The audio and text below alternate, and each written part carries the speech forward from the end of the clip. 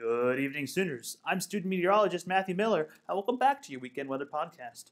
Taking a look at your game day forecast for tomorrow, during game time, temperatures are going to be around the mid to low 40s, so make sure you and the kids bring a light jacket, possibly a coat to stay warm.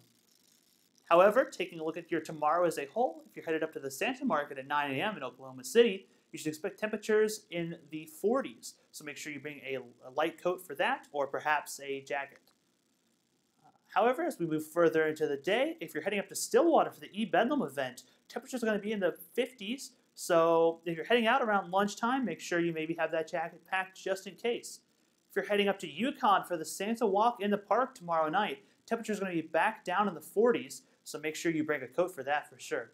Moving into your Sunday, however, as you can see, temperatures start to warm up to the low to mid 60s which this warming trend will continue throughout the week, so it should be much more pleasant days, and of course the clouds move out of the area. However, moving into Sunday night, as you can see, the temperatures do fall back into the mid 40s once again, so if you're heading outside to Sunday evening, make sure you have your jackets. Taking a look at your two-day forecast for the weekend, Saturday, as you can see, the high is around 52, going to be partly cloudy and slightly chilly, but moving into your Sunday, highs move up into the mid 60s, much more sunny, and it's going to be warming up.